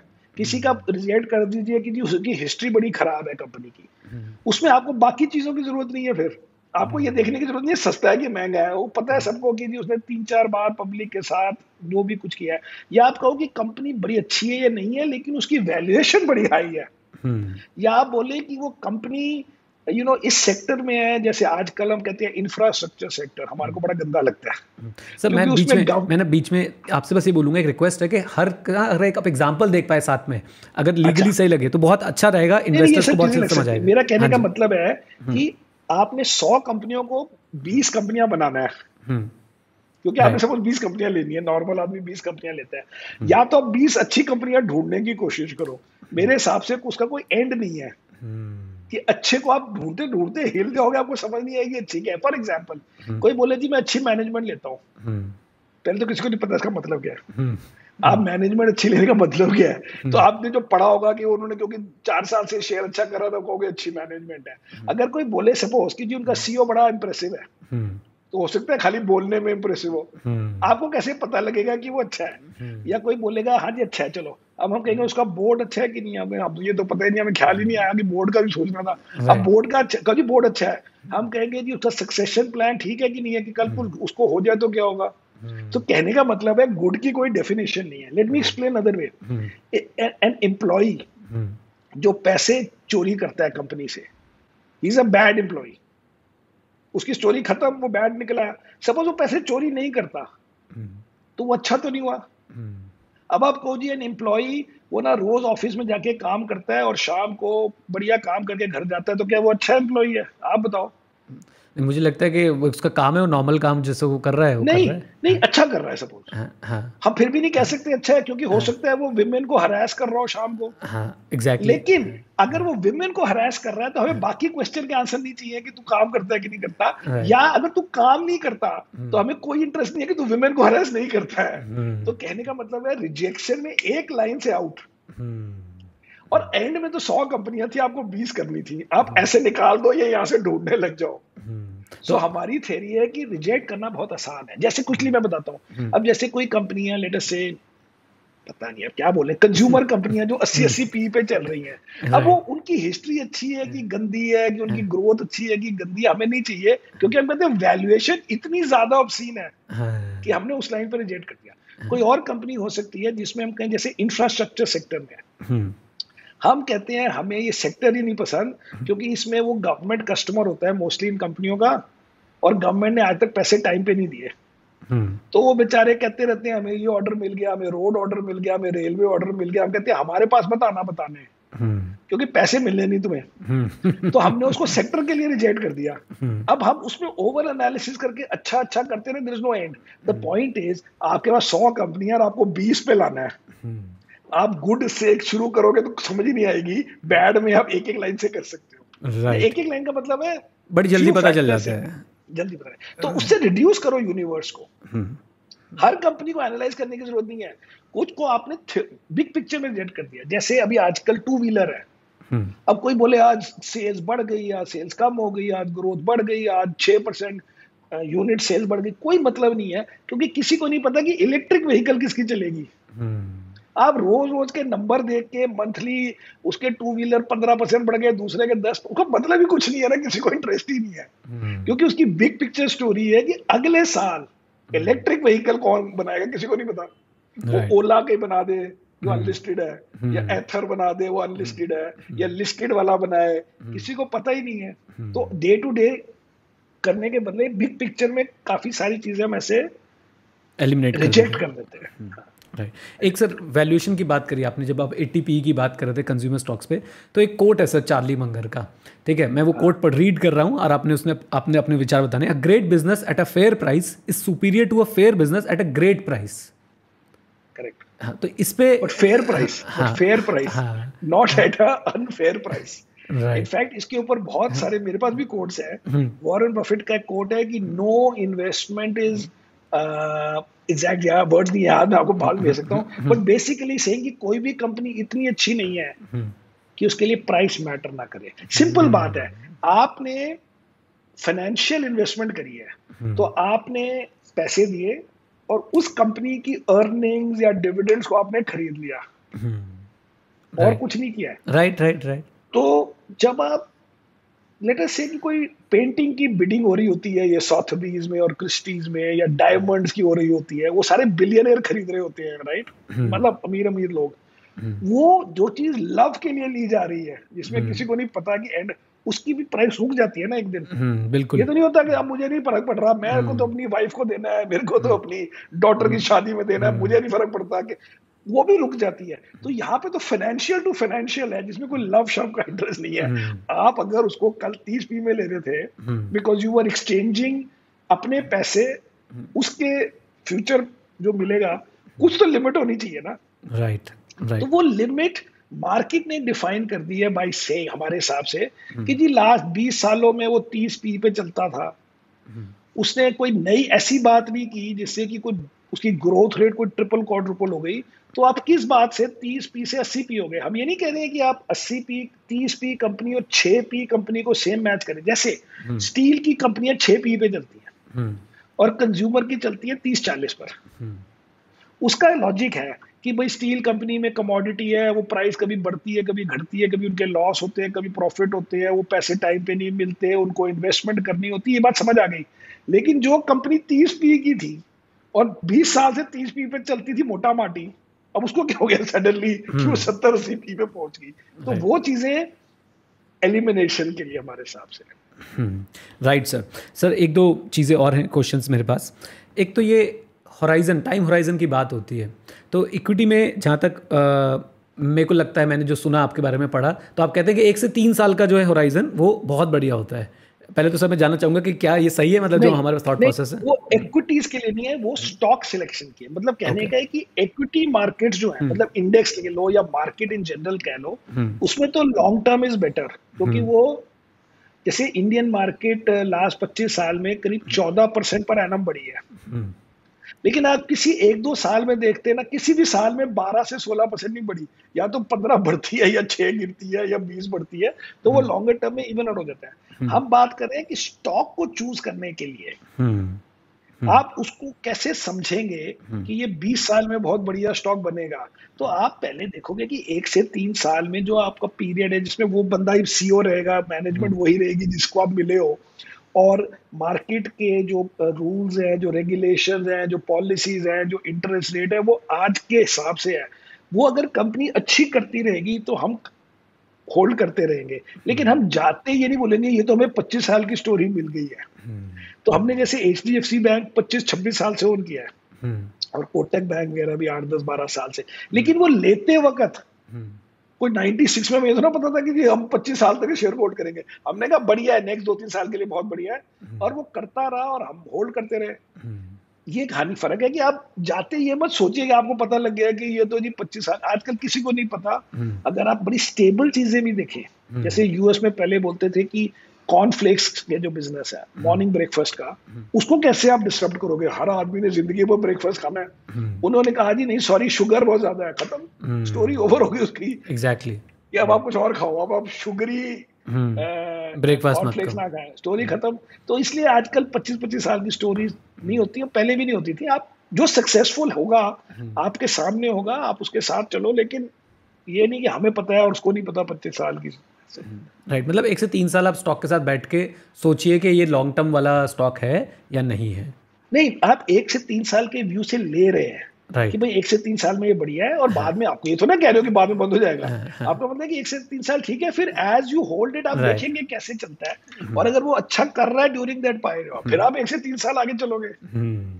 कहने का खाली कहने का मतलब है कि बीस साल में ये हो जाएगा वो हो जाएगा ये स्टोरीज ना ना मैनेजमेंट को भी नहीं पता कि क्या होगा। सही बात है। राइट राइट राइट एक और से मैंने आपकी वेबसाइट पे एक चीज़ पढ़ी। रोबस्ट पोर्टफोलियो में दो तरह के स्टॉक्स होते हैं number one stocks that offer high confidence in reasonable return and stocks that offer reasonable confidence in high return तो इसको कैसे एक्सप्लेन करें पहले वाला फ्रेज समझते हैं high confidence in reasonable return तो कहने का मतलब है कि जो वेल नोन कंपनीज़ होती हैं हम्म। जैसे H D F C bank या ये इन्फोसिस टी सी एस ले ले या कुछ कंज्यूमर कंपनीज़ ले ले हम्म। कोई फार्मा कंपनीज़ ले लें जो वेल नोन बड़ी कंपनीज़ हैं हम्म। उसमें आपको अगर पसंद है। जैसे हमें प्राइवेट सेक्टर फाइनेंशियल पसंद है जब मैंने नाम बताया वगैरह इसमें आपको पता है तो बाकियों को भी पता है कि दीज आर गुड कंपनीज़ लेकिन आपने कहा कि मैं सेल नहीं ले रहा या मैं टी वो नहीं ले रहा आईटीसी सॉरी आईटीसी नहीं मतलब कोई टिस्को नहीं ले रहा या हम्म। मैंने कोई तीसरी विप्रो नहीं ली सपोज़ तो हम्म। आपने वो पचास साठ कंपनियों में से हम्म। दस बारह कंपनी जैसे हमने ली है जिसमें हम कहते हैं कि कॉन्फिडेंस बड़ा हाई है बिकॉज़ ये कंपनियों की हिस्ट्री अच्छी है। और इनकी वैल्यूएशन आउट ऑफ़ लाइन नहीं हुई। क्योंकि आउट ऑफ़ लाइन होगी तो हमने आउट कर दिया। राइट एलिमिनेट हो गया। एशियन पेंट्स को हमने आउट कर दिया डी मार्ट वगैरह को आउट कर दिया कि वैल्यूएशन बड़ी अच्छी हाई है। वैसे तो ना कोई बुराई थी। सो इन कंपनियों में कॉन्फिडेंस हाई है। लेकिन सबको पता है इन कंपनीज़ के बारे में तो आपका रिटर्न बहुत हाई नहीं होगा। तो हम सोचते हैं कि इसमें रिटर्न इंडेक्स से अगर तीन चार परसेंट पर एनम ज़्यादा हो गया तो हमारा काम हो गया। तो रीजनेबल रिटर्न रीजनेबल रिटर्न हाँ रीजनेबल का मतलब है मार्केट से कम नहीं। हाँ मार्केट मार्केट या मार्केट से ज़्यादा। मार्केट से तीन चार परसेंट ज़्यादा हो जाए बहुत बढ़िया। हाँ. तो इसमें आपने पचास साठ बड़ी कंपनियों में से दस कंपनियाँ लिया। अब हमने इतनी ली हम्म, हम्म, हम्म। तो इसमें हम डालते हैं करीब पाँच परसेंट पर स्टॉक तो हमारे पचास परसेंट पैसे खर्च हो गए इसमें। अब दूसरा ग्रुप है जो हमारे जो भी हमारे फैक्टर्स है रिसर्च के उसके हिसाब से वो अच्छी थी उसमें हमने बैड बैड रिजेक्ट कर दिया था। लेकिन इन सब कंपनियों में कुछ ना कुछ नया है कुछ ना कुछ ऐसी कहानी है। जैसे जैसे अगर आप कोविड टाइम में दो तीन महीने आफ्टर कोविड हमने जैसे लिया इंडियन होटल। हम्म। तो इंडियन होटल की स्टॉक थी पहले करीब डेढ़ सौ रुपए प्री कोविड अब कोविड के बाद वो अस्सी रुपए हो गया था। हम्म। लेकिन होटल तो बंद पड़ा है। राइट अब आप बाकी जो मर्ज़ी स्टोरी बना लो कि हम्म। उसकी इंडस्ट्री हमें अच्छी लगती है कि उसमें डिसरप्शन नहीं होगी कि उसमें ये टाटाज का है उनके होटल की लोकेशन अच्छी है कि मैनेजमेंट अच्छी है कि दूसरे होटल्स को प्रॉब्लम हो सकती है जो छोटे होटल हैं क्योंकि वो बंद हो गए। लेकिन आपका होटल भी बंद ही है मोर और लेस लेकिन हम कहते हैं चलो जी ये तीन साल में चार साल में कोविड जब हट जाएगा हम्म। उसके दो साल या एक साल बाद होटल भी ठीक हो जाएँगे हम्म। तो पाँच साल बाद अगर दो महीने की पुरानी प्राइस मिल गई राइट हम्म। तो स्टॉक डबल हो जाएगा क्योंकि हाफ़ हुआ है तो पाँच अगर वर्स्ट कम से कम पाँच साल में भी अगर कोविड खत्म हो गया वो डबल भी हो गया तो कोई बुराई नहीं है लेकिन होपफुली जल्दी हो जाएगा और वो एक्चुअली जल्दी हो गया exactly. लेकिन उस स्टॉक में आप पाँच परसेंट नहीं ले सकते हो hmm. ये हम लेते हैं दो दो परसेंट वाले hmm. जैसे किसी में क्या है जैसे आपने कोई नई कंपनी आई इवन कैंपस hmm. अब आई तो पहली बार है हमारे सामने hmm. अभी लिस्ट हुए तो दो महीने हुए हैं. अब हमें ये नहीं पता एंकर क्या करेंगे. किसी में नहीं पता प्राइवेट इक्विटी वाले क्या करेंगे. किसी में नहीं पता कि वो मार्केट के साथ कैसे मैनेज करेगा. क्या वो कंसिस्टेंटली ग्रो करेगा कि कहेगा मैं खाली इस सीज़न में ग्रो करता हूँ जब ये होता है। कुछ पता एग्जैक्टली exactly नहीं पता बट आपको सारी चीज़ें पसंद है हम्म। लेकिन नई चीज़ है ना। हम्म। दो परसेंट तो हम ऐसे पंद्रह बीस कंपनीज़ लेते हैं दो दो परसेंट की जिसमें हम कहते हैं कि मैनेजमेंट थोड़ी नई है हमारे लिए लेकिन बाकी चीज़ें बड़ी अच्छी हैं। हम्म। लेकिन ये नहीं है कि सब कुछ हिस्ट्री विस्ट्री को पता ही नहीं ना नई नई चीज़ें हो रही हैं।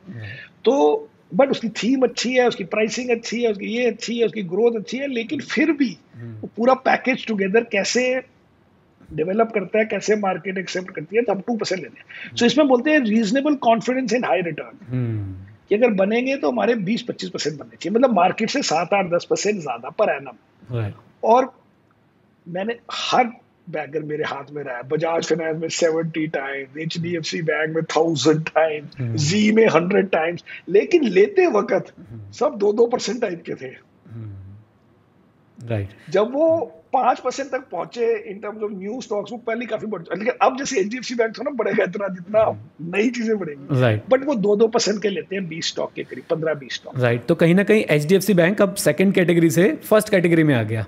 नहीं वो तो कर बड़े साल हो गए करेक्ट करेक्ट करेक्ट। मतलब लॉन्ग टर्म में यही है कि जो स्टॉक हमारा सेकंड कैटेगरी में था। Correct hmm. लेकिन जो बीस स्टॉक है वो बीस में से दस पहुँच गए तो आपका काम हो गया। राइट सही बात। बाकी दस आपको डिसअपॉइंट करेंगे या ब्रेक इवन करेंगे या मार्केट के साथ चलेंगे और आप उनको थोड़े दिनों में मतलब थोड़े दिन मीन साल डेढ़ साल में आपको या तो मज़ा नहीं आएगा हम्म। या कुछ कहानी होगी। बट ऐसे ही होते हैं काम कि आप बीस ले रहे हो ऑन द बेसिस कि आपके आठ दस तो चल जाए। हम्म। और पाँच सात आगे ब्रेक इवन हो जाए दो चार में शायद आपका दस बीस परसेंट का नुकसान हो गया तो डजेंट मैटर बिकॉज़ जो बढ़ते हैं हम्म। वो तो फिर ऐसे बढ़ते हैं जैसे बजाज फाइनेंस हमारा 2011 में लिया तो 70 टाइम बढ़ गया। Right hmm. में हमारे 50 टाइम बढ़ पचास टाइम बनते हैं ना जब चलती है ये चीज़ें। लेकिन हर स्टॉक नहीं चलता। और आपको पहले पूरा नहीं पता कि कौन सा चलेगा लेकिन आप अपनी तरफ़ से कोशिश कर रहे हो कि आपके बीस स्टॉक में से चार पाँच सात आठ ऐसे चल जाए इफ़ नॉट पचास टाइम जैसे हमारा लास्ट दो साल में अब तो नहीं है हमारे पास डिक्सन चार टाइम चल गया। hmm. अब पहले थोड़ा पता कोई सोच सकता था कि डिक्सन फोर टाइम बढ़ जाएगा डेढ़ साल में। आई. थिंक तभी तभी ये फ्रेज है कि reasonable confidence in high returns तो वो राइट बहुत बढ़िया। हमने अपनी कोशिश कर ली है बट बियॉन्ड दैट भगवान का वो भी चाहिए। राइट राइट सर एक और जो टीम हमारी आपके बारे में बात निकाल के लाई वो ये कि आपने सजेस्ट किया है कि तीस से पैंतीस स्टॉक्स होने चाहिए पोर्टफोलियो के इसीलिए जी। वो इसीलिए जी कि पहले ग्रुप के हम लेते हैं दस स्टॉक हाँ। या बारह स्टॉक राइट चार सात और नीचे वाले में लेते हैं पंद्रह बीस स्टॉक तो तीस हो। गए तो हम कहते हैं तीस पैंतीस स्टॉक होने चाहिए। यही क्योंकि हम दोनों को एक ग्रुप में करना चाहते हैं। कई फंड मैनेजर्स क्या करते हैं कि जी हम एक हाई क्वालिटी फंड अलग बनाएँगे और एक मिड कैप या हमारा मिड कैप ये जो भी कह लें सेकंड ग्रुप जो स्लाइटली न्यू वो अलग फंड बनाएँगे। हम कहते हैं कि सब एक में करो बिकॉज़ इन्वेस्टर भी अलग अलग अलग अलग कितने वो प्रोडक्ट खरीदे सॉर्ट ऑफ़ सो इसलिए हमारा आपने साइट में हमारे वो भी देखे होंगे अवार्ड्स भी देखे होंगे बड़े अच्छे थे। हम्म। बड़े अच्छे हैं। राइट राइट अच्छे हैं। तो मतलब आप ये कह रहे हैं कि रादर देन हम ऐसा करें कि भाई एक जो हमारे हाई रिटर्न्स देने वाले हैं मतलब रीजनेबल रिटर्न्स देने वाले हैं उनका अलग फंड ना बनाए और जो हाई रिटर्न्स देने वाले उनका अलग फंड बनाए मिक्स करके चलें उनको नहीं हम मिक्स करके चलना चाहते हैं बिकॉज़ हमारा आइडिया है कि हम उसमें एक और हेल्प हो जाती है इन्वेस्टर की कि हम अपने आप इधर से उधर मूव कर सकते हैं। क्योंकि अगर जैसे मार्केट खराब है तो हम ज़्यादा ऊपर की तरफ़ चले जाते हैं स्टेबलर की तरफ़। अगर नई नई चीज़ें हो रही हैं एक्शन चल रहा है तो हम नए वाले स्टॉक ज़्यादा ले लेते हैं। लेकिन हर वक्त दस पंद्रह स्टॉक होने चाहिए जो आप मतलब औरों के पास भी होंगे यानी कि किसी और के पास नहीं होगा लेकिन वो फिर भी न्यूअर स्टॉक्स हैं। हम्म, तो अगर वो चल गए और आपकी थीसिस ठीक रही हम्म, तो उसमें अभी फॉरेनर्स ने आना है इंडियन फंड्स ने पूरा नहीं लिया हमने पूरा नहीं लिया हम भी दो का चार कर सकते हैं अगर आ, वो सब चीज़ें चले। और मोस्टली चल जाती है मतलब मोस्टली सारे स्टॉक्स नहीं चलते बट मोस्टली बीस स्टॉक में सारे स्टॉक मिल जाते हैं जो आ, उन फेजेस के बिग विनर्स हैं। Right right. ये ये सेम थॉट प्रोसेस के आपके हिसाब से एक रिटेल इन्वेस्टर को लगाना चाहिए अगर वो इंडिविजुअल स्टॉक्स बाय कर रहा है कि thirty thirty two thirty five stocks रखे बिल्कुल जी। जब हमें इतना कॉन्फिडेंस नहीं है कि हम दस स्टॉक खरीदे मुझे नहीं समझ आती कि रिटेल इन्वेस्टर ट्विटर पे मेरे साथ आर्ग्यू करते हैं कि जी कॉन्सेंट्रेटेड पोर्टफोलियो होना चाहिए। Exactly. तुमने हमारी इंटरव्यू देख के कॉन्सेंट्रेट होना है। हाँ। तुमने अलग से तो तुम ऑफ़िस जा रहे हो तो कैसे तुम बिज़नेस स्टैंडर्ड पढ़ के और ये पढ़ के कैसे कॉन्सेंट्रेटेड हो जाओगे? तो वो क्या होता है कि जो आदमी दस स्टॉक ले रहा है हम्म, वो बेसिकली हमारे पहले ग्रुप वाले ले रहे हैं मोस्टली बिकॉज़ उसको वो स्टॉक है तो हमें समझ आ गई इसलिए हमारे में दोनों है। बट सेकेंड ग्रुप को करने के लिए आपको थोड़े कम वेट लोगे क्योंकि आप जब लोग अच्छा अच्छा हमने एक स्टॉक लिया हम्म, आ, बड़े दिन हो गए अब तो तो वो अब छोड़ा आपको नाम नहीं बता रहा बट वो कोविड में सत्तर परसेंट गिर गया था। हम्म, अब हमने कहा यार जो भी है ये सारा बैंक नहीं होगा। हम्म। ये ज़ीरो लायक नहीं है। हम्म, और बाकी चीज़ें बड़ी बढ़िया है लेकिन चलो ये स्टोरी हो गई वो स्टोरी हो गई जिससे वो सेवेंटी परसेंट गिर गया है। अब कितना लोगे? हम्म, क्योंकि बाकी चीज़ें हमें बड़ी पसंद है। हमें तो प्राइस भी पसंद सब कुछ पसंद है। एक्सेप्ट कि वो क्योंकि सेवेंटी परसेंट गिरा हम भी डर जाते हैं कि हुआ क्या? हम्म। ऐसी क्या बात हो गई कि वो सेवेंटी परसेंट गिर गया। लेकिन अब गिर गया क्योंकि फॉरनर की सेलिंग हो गई किसी की सेलिंग हो गई तो फिर हम दो परसेंट लेते हैं। हम्म, हम ये नहीं कहते अब हमें सब कुछ हमारे कंट्रोल में है। अब उठा लो इसको जितना उठाना है। हाँ क्योंकि फिर भी कुछ गुगली होती है कि पता नहीं लगता ना कि एग्जैक्टली क्या रीजन है कि क्या है किसी को पता हम्म, जो हमें नहीं पता। हमने बड़ी कोशिश कर ली कि क्या हुआ क्या है? नहीं समझ आती। लेकिन फिर हम कहते हैं दो परसेंट के लायक है इतना रिस्क तो लेंगे क्योंकि हमारे हिसाब से हमें काफ़ी नॉलेज है and we like that fellow and we like that company and we have made money in the past but फिर उसमें दो दो परसेंट का इसलिए दो परसेंट वालों में और एक और बात है रिटेल इन्वेस्टर के लिए। हम्म। आपने अगर दस स्टॉक लिए हम्म, तो कल सुबह क्या करोगे? हम्म, फिर काम करना पड़ेगा पूरा दिन अपने नौकरी का। क्योंकि मार्केट में तो अगर दस बीस स्टॉक हो गया तो आप उसकी न्यूज़ पढ़ोगे ट्रैक करोगे फिर कहानी बनेगी। आपने मेरे पास H D F C bank है तो बैठे रहो फिर ज़िंदगी मेरे पास ना इससे रिलेटेड एक और क्वेश्चन है। हाँ नहीं बिल्कुल आपने सही बोला कि कई बार रिटेल इन्वेस्टर सिर्फ़ थ्रिल के लिए आते हैं तो उनका थ्रिल खत्म हो जाएगा अगर वो पाँच दस स्टॉक लेके बैठ जाएँगे। स्टॉक लेके बैठे राइट लेकिन सर एक बात बताइए मतलब तीस पैंतीस कंपनीज़ को एक रिटेल इन्वेस्टर अगर लेता है। पहली बात, मुझे तो बड़ा, आपने बहुत क्लियरली इस बात को बोला कि बहुत रिटेल इन्वेस्टर के लिए बहुत डिफ़िकल्ट है। वो आप सबकी वीडियोस देख के ही देखता है कि कौन सा स्टॉक लेना है क्या करना है। तो वो सब बाद में इन कंपनीज़ का ट्रैक कैसे रखेगा? कि एनुअल रिपोर्ट कैसे पड़ेगा बात है कि ट्रैक रखने की बात है। आप तो ऐसे कह रहे हो जैसे अब हमने अगर किसी नेस्ले ले लिया तो कल जाके चॉकलेट की प्राइस चेक करने लगे। करना क्या है कुछ नहीं करना। हाँ। ये सब कहानी है कि ट्रैक क्या करना है। हाँ। आपको रोज मिलना ही क्या है? अगर आप एच सी बैंक के शेयर है जैसे हमारे पास पच्चीस साल से। अब हम क्या ट्रैक करें? हम्म, जाके बाहर देखें कि लाइन में लोग खड़े हैं कि खड़े। बैंक के बाहर Credit क्या चेक करें? credit वो card के लिए। आएगा वो जब रिज़ल्ट आएगा उस दिन रिज़ल्ट को देखोगे। हम्म, और उस वक्त की कमेंट्री पढ़ोगे और हम जैसे हम तो की फुल फंड टाइम मैनेजर हम उसकी कॉल में जाएँगे। राइट और हमारे का एक फ़र्क है कि हमारे यहाँ कभी वो सेल साइड के ब्रोकर आते हैं तो वो अपनी स्टोरी सुनाते हैं या या कंपनी आती है। लेकिन रिटेल इन्वेस्टर को वैसे भी क्या मिलना है? मतलब क्या जो अगर दस कंपनियाँ भी लेगा तो करेगा क्या? पहले ये तो समझाओ लीवर में क्या चेक करोगे उसमें आप क्या करोगे क्या? कोई काम ही नहीं है कहानी है ये कि वो ट्रैक कैसे करेगा? मतलब क्या करे वो? राइट आपने कल लीवर खरीदा पहली बात तो आपने कल जो स्टॉक खरीदा अब उसको छह महीने तो दोगे कंपनी को काम करने के। तो छह महीने तक आप दूसरी कंपनी को ट्रैक करो। नहीं जी ये तीस कंपनियाँ बड़ी कम है मेरे हिसाब साथ राइट सबको क्योंकि एक और बात है अगर आप तीस कंपनियाँ ट्रैक करोगे तभी तो आपने दस खरीदी। आप अपनी दस को ट्रैक करते रहोगे आपको ये नहीं पता कि बाकी क्या अपॉर्चुनिटीज़ हो रही है वर्ल्ड में। तो बाय डेफिनेशन आप जितनी ओन करते हो उससे तीन गुना तो आपको वैसे ही फॉलो करनी पड़ती है। To choose those ten right right काफ़ी इसलिए एक और तरीका है हमारे भाई बंधुओं को म्यूचुअल फंड वालों को दे दो पैसे। अपने आप करने की ज़रूरत क्या है? राइट सर ये ये ना एक बात है कि म्यूचुअल फंड वालों को दे दो पैसे आपने बता दिया राइट और आप आप उस स्थिति में भी हैं आप आप आप सोचिए ये बड़े बहुत बड़ी बात है आपका खुद का पीएमएस आप तब भी ये गाइड कर रहे हो कि भाई तुम म्यूचुअल फंड वालों को दे दो नहीं क्योंकि वो पीएमएस में ना प्राइस राइट राइट अमाउंट का right, नहीं तो हम कहते हमारे को दे दो क्योंकि हमारी बहुत बड़ी अच्छी है हाँ। लेकिन म्यूचुअल फंड हमारा भी आएगा किसी हाँ। दिन हाँ। साल बाद। लेकिन कहने का मतलब है कि एक्चुअली अगर आप पूरी एनएवी देखें इन्वेस्टर की ना उसकी कहानी वाली है नहीं कि मैंने लास्ट शेयर इतने में लिया था और इतने में बिक गया। मुझे नहीं लगता कि वो म्यूचुअल फंड को आउट परफॉर्म कर। रहा है मैं वही बात पूछ रहा हूँ कि तो एक समझदार इन्वेस्टर को जब हम ये गाइड करते हैं भाई म्यूचुअल फंड में इन्वेस्ट कर लो तो क्या ऐसी चीज़ें जो बीच में आ जाती है जो कहते हैं नहीं जी मैं म्यूचुअल फंड में नहीं जाऊँगा मैं तो स्टॉक पे करूँ मैं स्टॉक चूज़ करूँगा तो स्टॉक पे करो तो उससे कहोगे कोई नहीं तू साल एक साल बाद आ जाइए परफॉर्मेंस लेकिन प्रॉपरली देखियो अनलेस हम्म। की आपको शौक है मार्केट का हम्म। आपको शौक है कंपनियों के बारे में पढ़ने का हम्म। आपको शौक है कि भाई आपको एक और अच्छी हैबिट है better than many other habits और आपको टाइम है तो नथिंग रॉन्ग बट मेरा कहने का मतलब प्रैक्टिकली अगर आप उसके फुल पोर्टफोलियो की परफॉर्मेंस देखोगे।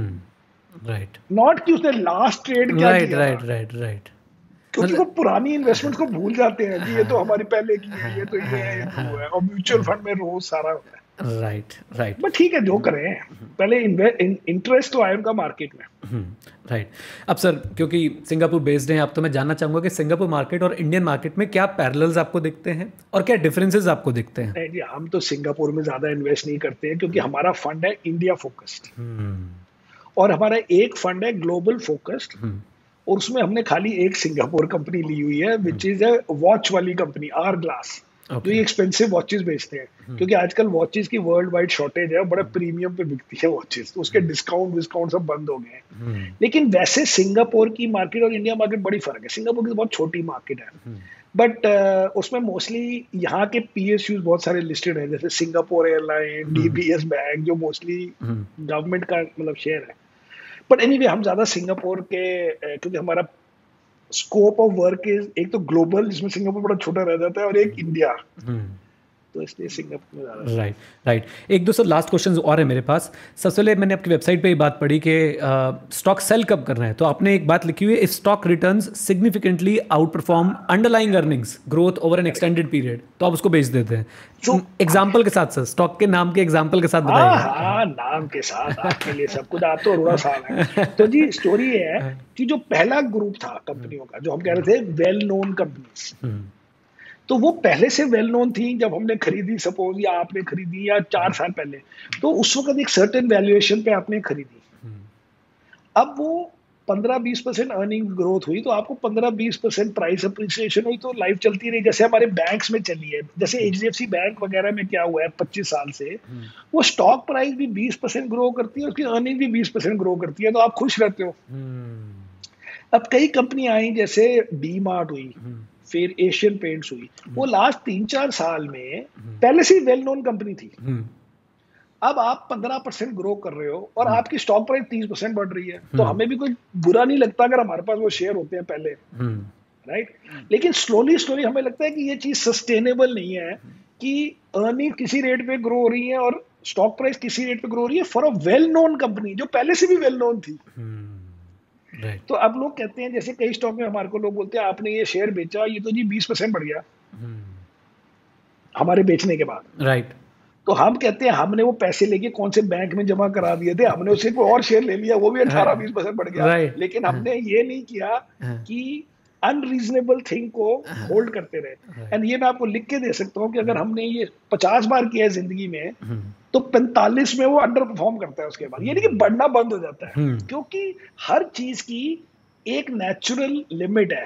और वंस इन अ वाइल अगर उसकी नेचुरल लिमिट नहीं हुई और वो चलता रहा तो क्या फ़र्क पड़ गया? हमने भी तो कुछ और ले लिया था उससे। राइट अगर वो चला भी गया। बट मोस्टली क्या होता है कि बियॉन्ड अ पॉइंट नहीं चलती है चीज़। राइट राइट मतलब अर्निंग्स और प्राइस में डिस्प्रपोर्शनेट अगर चल रहा है कुछ डिस्प्रपोर्शनेट दिख रहा है आपको? नई कंपनी में हो भी सकता है। जैसे जो हम सेकंड ग्रुप है हम हाँ. कह सकते हैं कि अभी वो डिस्कवर अभी हुआ है। सेकंड थिंग इज़ अगर ग्रोथ भी तीस तीस पैंतीस पैंतीस परसेंट की हो अर्निंग्स ग्रोथ हम्म। जो कई फ़ेज़ में होती है हम्म। तब स्टॉक भी पचास पचास परसेंट बढ़ता है क्योंकि thirty thirty five percent growth is very rare लेकिन जब आप दस पंद्रह परसेंट ग्रोथ में आ गए right. ये सब आए थे right. या तब आप किस बात पे चालीस मतलब आप ये किस बात पे बढ़ा रहे हो क्योंकि hmm. हमारी तो जीडीपी पंद्रह परसेंट ग्रोथ दी है hmm. अब इस क्वार्टर में आप लें जो भी क्वार्टर हम्म। खत्म हुआ है जीएसटी पचास परसेंट बढ़ा है तो जब जीएसटी पचास परसेंट बढ़ा है जो भी रिज़ल्ट आए हैं तो इसका मतलब कोई भी कंपनी पचास परसेंट से कम ग्रो हुई है तो क्या किया तूने? हमारी तो पूरी इकोनॉमी क्योंकि पिछली बार कोविड था ना मई जून में हाँ बे, बेस छोटा हो गया। तो सिंपल बात है GST collection are fifty percent right that means and GST किससे कनेक्टेड है? रेवेन्यू से। Right. क्योंकि रेवेन्यू का परसेंटेज राइट राइट तो अगर जीएसटी हमारा पचास परसेंट ग्रो कर रहा है आपको जी मैं पच्चीस परसेंट ग्रो हो गया तो क्या किया तूने भाई? सो पॉइंट इज़ दैट अगर कोई रियली ग्रो कर रहा है at a certain phase okay उसका थोड़ा उसको क्रेडिट. दे सकते हैं। But mostly last few years में क्या हुआ है कि अर्निंग्स बड़ी टीन में भी नहीं ग्रो हुई। Hmm. दस बारह परसेंट। और आपको तीस तीस परसेंट स्टॉक में मिल रहे थे फॉर वेल नोन स्टॉक्स वो तो हम ट्रिम करेंगे पहले और फिर ज़ीरो कर देंगे। राइट आई थिंक सर मैं मैं इसको कंक्लूड करने की कोशिश करता हूँ जो बात आपने अच्छा। बोली एकदम रिटेल इन्वेस्टर के लिए। वो आपने बहुत बहुत अच्छा एग्जांपल दिया एच बैंक जिसकी अर्निंग भी बढ़ रही है प्राइस भी बढ़ रहा है कोई प्रॉब्लम नहीं है उस स्टॉक में बने रहे।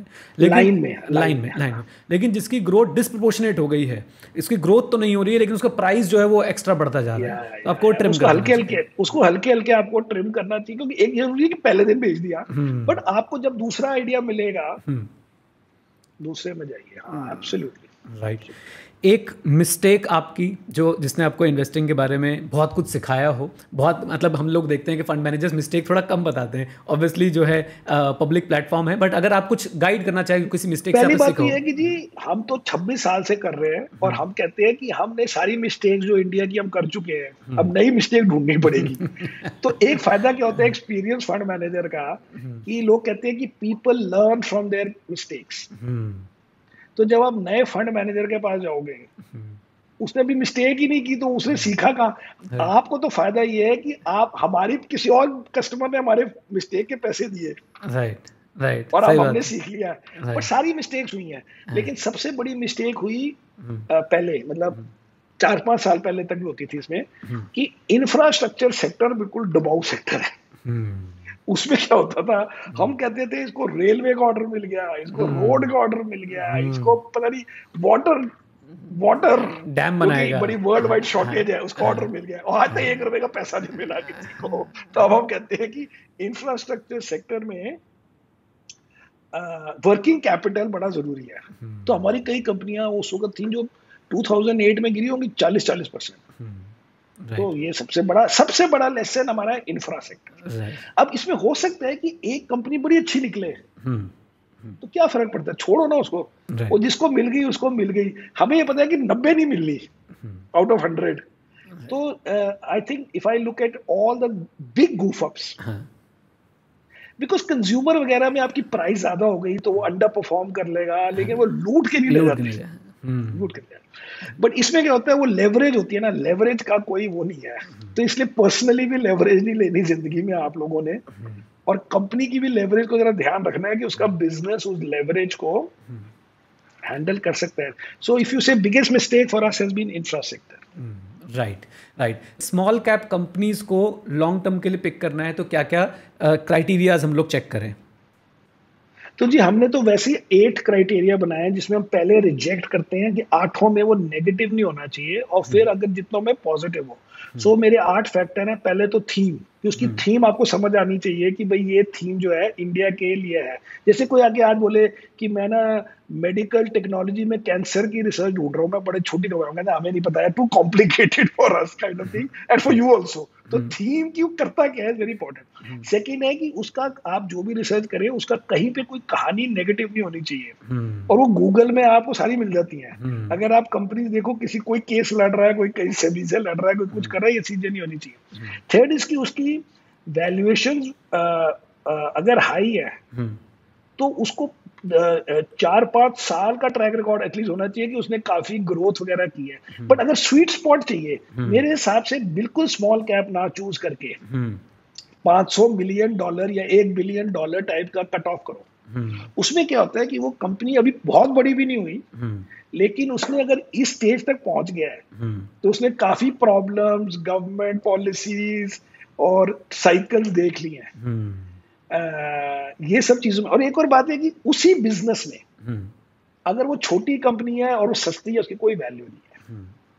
वो हम भी जी वो करते हैं वो भी करते हैं लेकिन हम सस्ते हैं। As a price for us as a for a shareholder कोई फ़ायदा नहीं है। आपको कुछ तो अलग करना पड़ेगा या फिर आप बड़े बन जाओ उस इंडस्ट्री की। जैसे सपोज़ थिएटर है। सपोज़ पीवीआर है नाइनॉक्स है। अब कोई नया बंदा है कि मैं ना जी खाली तीन स्टेट्स में हूँ। लेकिन मेरी वैल्यूएशन उनकी अट्ठारह पी है मेरी तो खाली तेरह पी है शक्ल ना दिखा दिया तो फ़ायदा नहीं इतने वो करने का राइट right. तो थीम हो गया कोई नेगेटिव नहीं होना चाहिए वैल्यूएशन आपने बताया और क्या क्या पॉइंटर्स हैं सर नहीं तो वही मैं कहता डिस्काउंट नहीं खेलना है हम्म। कि भाई डिस्काउंट टू लिस्टेड वो नहीं खेलना है हम्म। कि भाई क्योंकि ऑब्वियसली छोटी कंपनी है एक स्टेट में हो तो आपको वही मिलेगा या तो आप बिल्कुल ही नया काम कर रहे हो हम्म।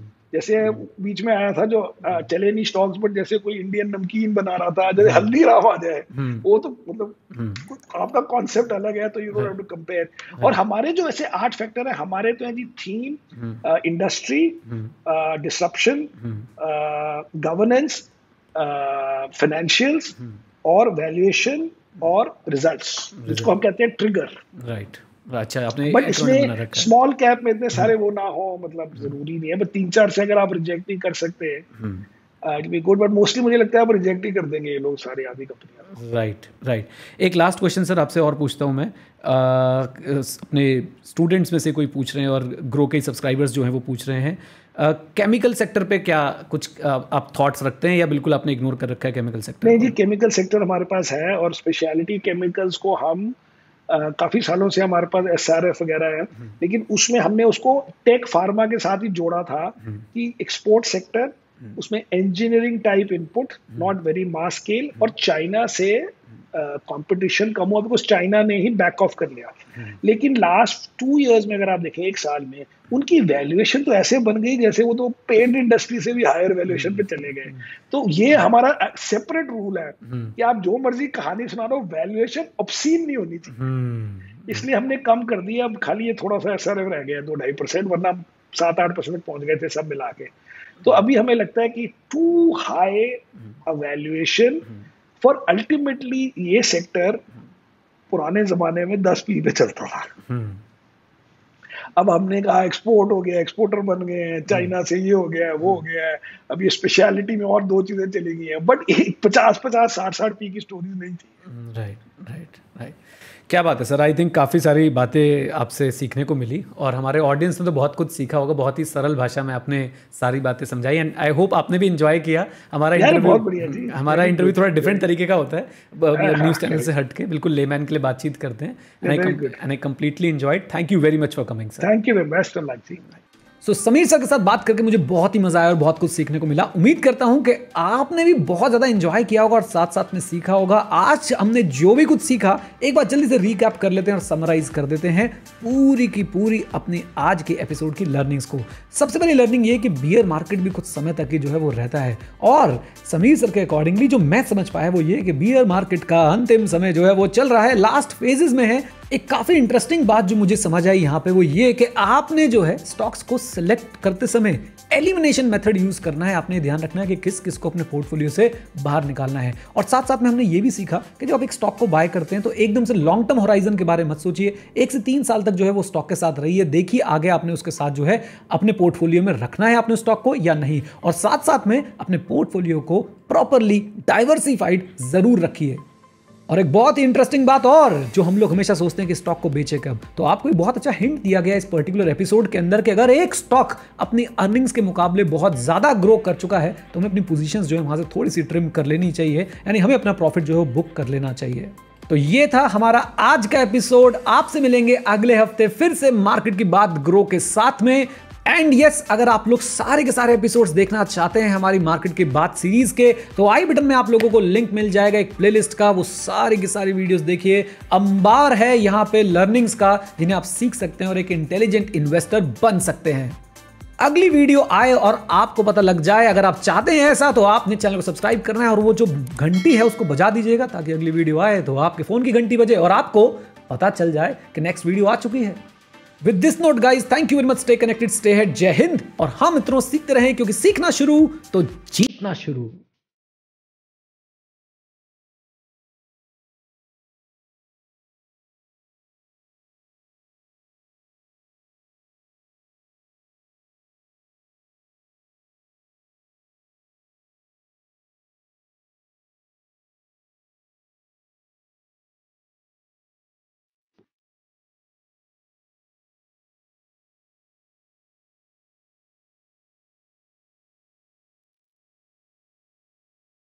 Investment in securities market are subject to market risks. Read all the related documents carefully before investing. Please read the risk disclosure documents carefully before investing in equity shares, derivatives, mutual fund, and or other instruments traded on the stock exchanges.